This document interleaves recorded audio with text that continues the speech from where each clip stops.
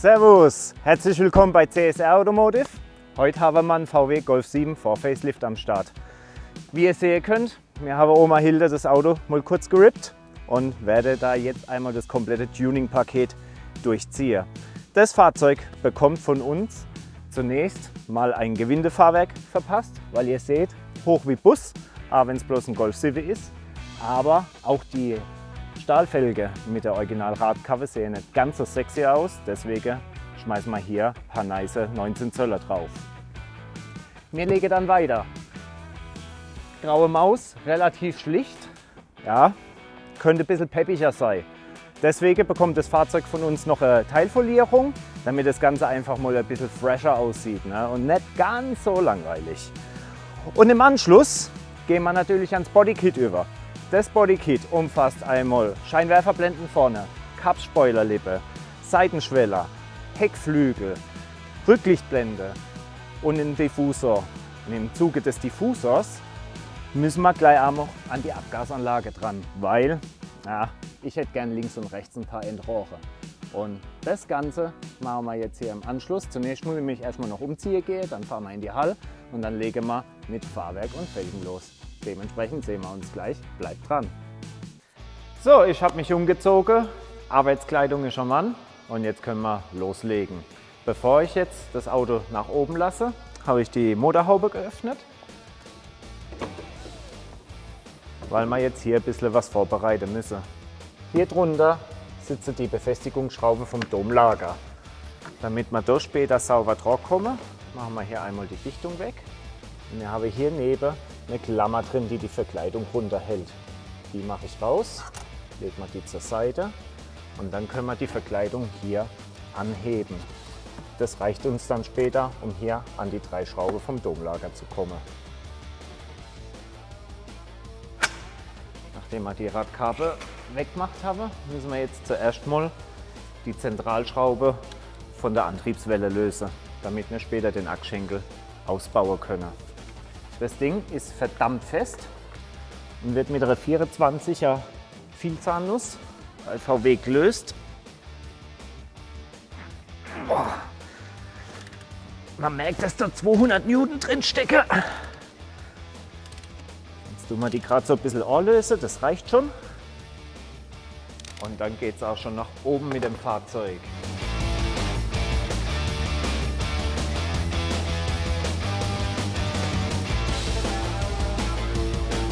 Und jetzt können wir die Schraube, den Schlagschrauber, komplett rausholen.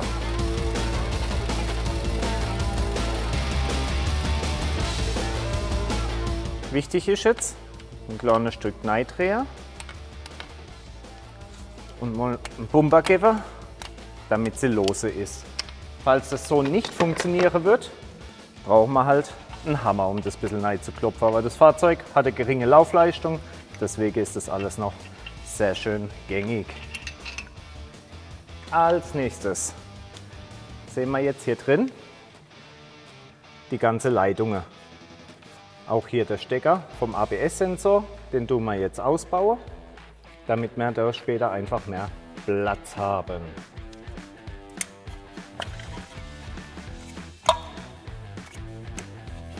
Machen wir das erste weg.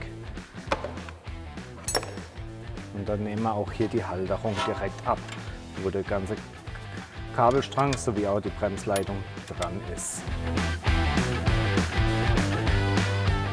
Als nächstes tun wir die Zentralschraube vom Federbein lösen. Da brauchen wir jetzt einmal auf der gegenüberliegenden Seite auch einen Vielzahn und unseren Schlagschrauber mit einer 18er Nuss.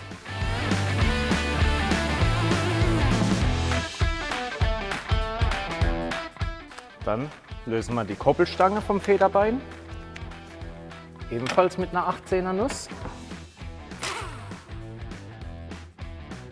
Und jetzt können wir das Ganze uns ein bisschen zurechtdrücken, dass wir die Koppelstange abnehmen können.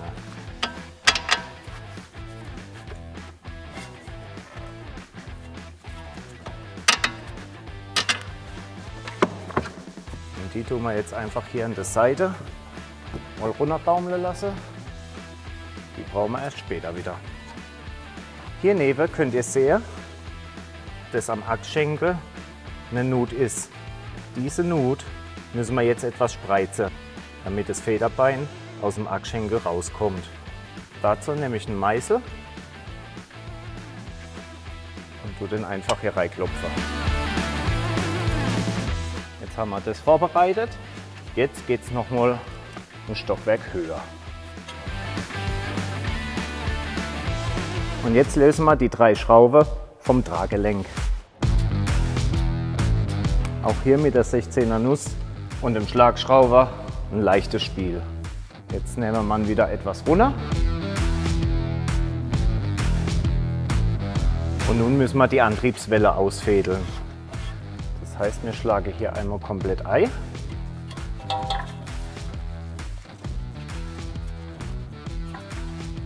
Wenn wir hier merken, oh, sie ist noch ein bisschen fest, nehmen wir mal einfach die Schraube wieder zur Hand.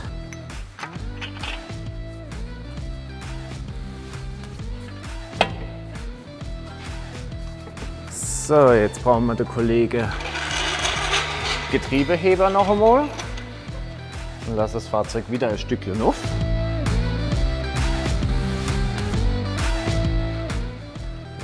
Quasi meine Stütze für den Achsschenkel.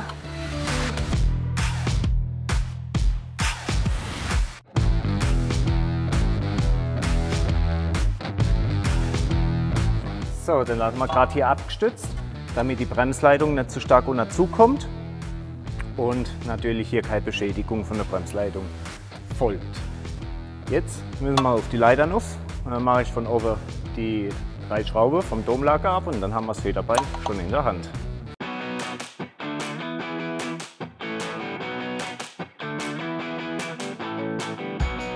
Hallo Federbein. Jetzt müssen wir das Federbein noch zerlegen, weil wir brauchen einmal das Domlager hier oben. Dazu schnappen wir uns jetzt einen Federspanner.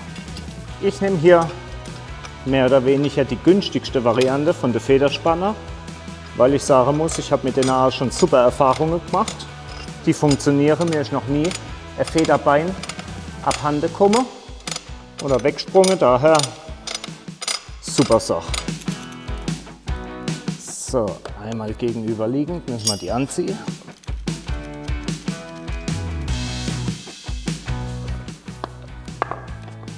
Und jetzt spannen wir das Ganze.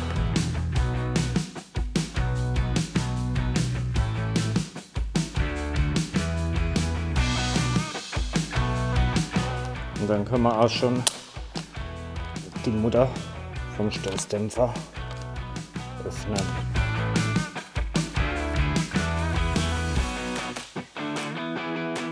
Schon haben wir das Domlager in der Hand und können den Federspanner wieder entspannen. Staubschutzmanschette brauchen wir jetzt noch und das Domlager. Hier empfiehlt sich, wenn ihr die Arbeit euch schon macht und das Fahrzeug eine größere Laufleistung hat, ich sag mal so ab 70.000 Kilometer aufwärts, hier gleich ein neues Domlager zu verbauen, weil ihr habt es eh in der Hand, deswegen bietet sich das Ganze an. Ich habe jetzt hier das neue Federbein, das kommt von der Firma DTS. Die hat uns ein komplettes Gewindefahrwerk geliefert. Wie ihr sehen könnt, super schön verzinkte Oberfläche. Ah, die Verstellteller sind schön beschichtet, also optisch einsame Spitze. Und jetzt müssen wir das Ganze zusammenbauen wieder. Ich habe hier jetzt mir schon ein Grundmaß eingestellt. Im Teilegutachter habt ihr ein sogenanntes Mindestmaß, das ihr nicht unterschreiten dürft. Das ist immer zur nächstgelegenen gehäuseseitigen Schraube vom Fahrzeug äh, bezogen. Das heißt, hier bin ich noch etwas drüber gegangen, weil man natürlich noch etwas Spielraum haben. Wir wollen so tief wie möglich, aber auch so, dass natürlich die Freigängigkeit später ge gewährleistet ist. Somit legen wir jetzt los. Ich setze hier Feder an. Und beim Golf Silver habt ihr hier noch das Domlager. Das ist zweiteilig, wie ihr sehen könnt. Und das muss immer auf diese eine Nut wieder zusammengebaut sein. Das ist ganz wichtig, weil, wie ihr sehen könnt, das ist leicht exzentrisch hier. Und wenn man da nicht drauf achte, haben wir später natürlich eine komplett falsche Einstellung. Und das kriegt man mit der Achsvermessung Animi reguliert. Wichtig ist, dass diese Nut auch immer zur Fahrzeuginnenseite zeigt. Sprich, wir haben hier unten von unserem Achsschenkel den Bolzen und genauso richten wir jetzt auch hier oben das Domlager aus, dass wir hier in einer Flucht sind. Dann haben wir es später bei der Montage natürlich einfacher. Drücken wir das Ganze ein bisschen runter. Dann setze die Mutti an.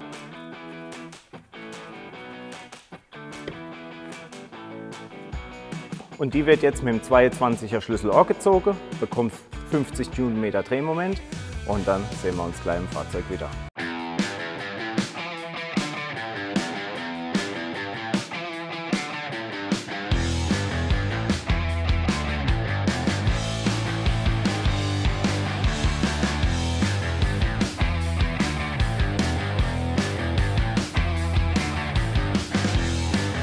Jetzt können wir den Achsschenkel wieder ins Federbein einführen. Dazu wechsle ich jetzt kurz den Getriebeheber, den Stempel.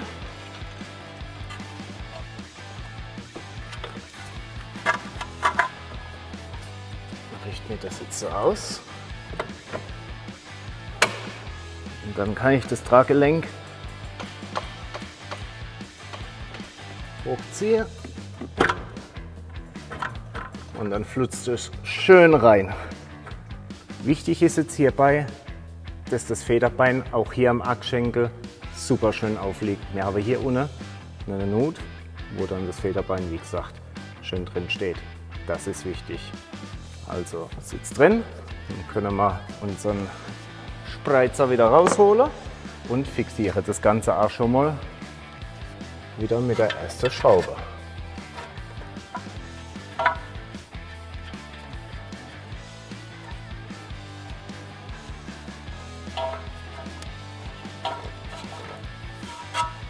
Und dann müssen wir jetzt die Antriebswelle wieder einführen.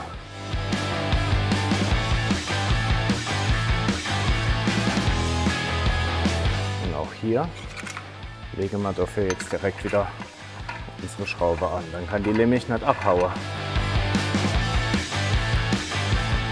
Jetzt können wir auch den Getriebeheber wieder rausnehmen. Und das Traggelenk wieder sauber einführen. Dann machen wir auch gleich die drei Modis wieder drauf. Ich ziehe die jetzt bloß auf Stufe 1 an, komme dann natürlich später nochmal mit dem Drehmomentschlüssel drauf, um dann das richtige Drehmoment für den Anzug zu generieren. Und dann können wir die Koppelstange wieder zurückholen.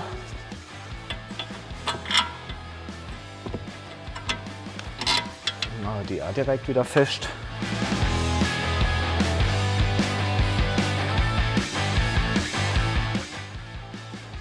Dann machen wir den Halter wieder für die Bremsleitung und den ABS-Sensor drauf. Und dann haben wir es auch schon wieder gleich geschafft. Jetzt gehen wir nochmal mit dem Drehmomentschlüssel drauf, tue alle Schrauben nachziehen mit dem richtigen Drehmoment und dann ist die Vorderachse schon fertig. Relativ einfach. Jetzt gehen wir an die Hinterachse dran. Vorteil hierbei ist, die geht meistens bedeutend schneller. Aber auch hier selbes Spiel. Radkappe ab, Rad runter und dann schauen wir uns mal, was uns hier erwartet. So, wie ihr hier sehen könnt, haben wir hier das Federbein, das wir lösen müssen. Auch hier wiederum der Achsschenkel, den tun wir einfach hier vorne abkippen. Hinten die Koppelstange müssen wir lösen. Und ganz hinten seht ihr hier noch für die Niveauregulierung das Gestänge. Das muss auch weg, weil wenn wir das vergessen, bricht es ab und dann wird es blöd.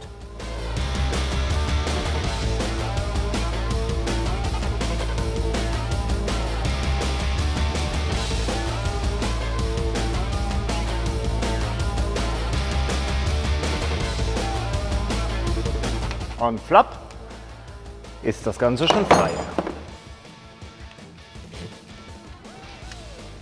Schnappen wir uns die Originalfeder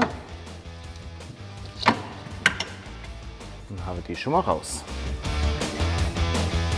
Das Stützlager vom Federbein ist jetzt hier oben befestigt. Da haben wir einmal hier links und rechts die zwei Schrauben. Die müssen wir jetzt lösen.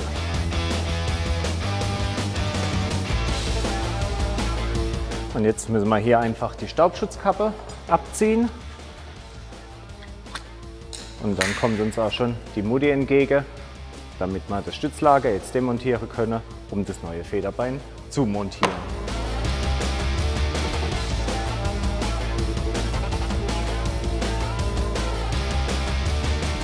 Die Staubschutzkappe hier geht runter. Die brauchen wir nicht mehr. Brauchen nur das reine Stützlager. Jetzt holen wir das neue Federbein.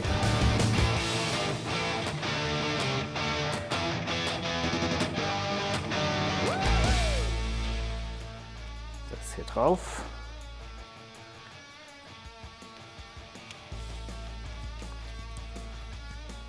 Und damit wir es jetzt ein bisschen einfacher haben, gehen wir an den Schraubstock.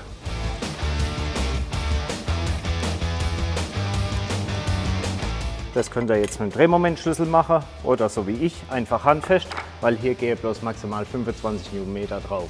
Ist nicht viel, kann man auch so machen. Und das gleiche Spiel in umgekehrter Reihenfolge geht es jetzt wieder ans Fahrzeug.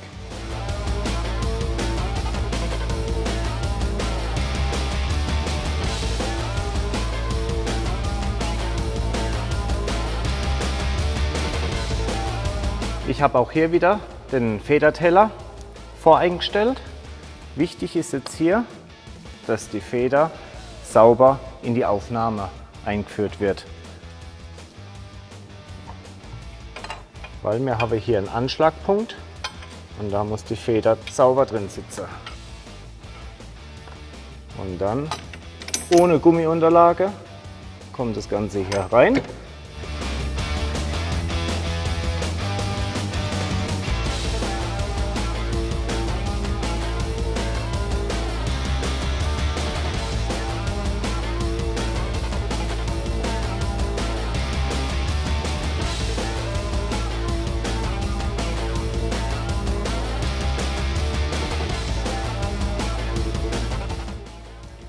So, ihr habt jetzt Vorder- und Hinterachse mitbekommen. Ich mache mich jetzt noch auf die andere Seite dran, dann räume ich ein bisschen auf und dann machen wir noch die schönen Neuzinzeller drauf. Da bin ich sehr gespannt drauf, wie dann das ganze Gesamtkonzept wirkt.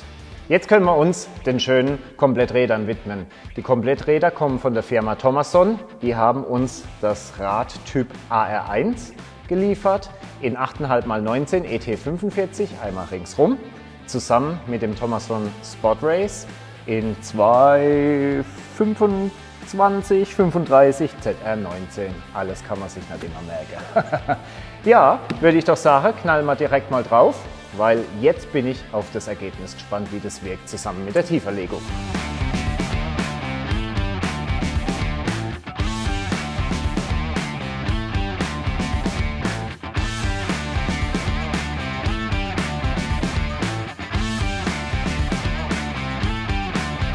Gerade jetzt in der Verbindung mit dem Gewindefahrwerk ist es wichtig, nochmal zu kontrollieren, ist die Freigängigkeit zum Gewindefahrwerk gegeben. Also hier ist noch massig Platz bis zum Federbein. Wenn wir das Ganze aber noch mal reinlenken, könnt ihr das hier neben schön sehen. Da ist genug Platz hier zwischen. Jetzt lassen wir das gute Stück mal zurück auf den Boden der Tatsache.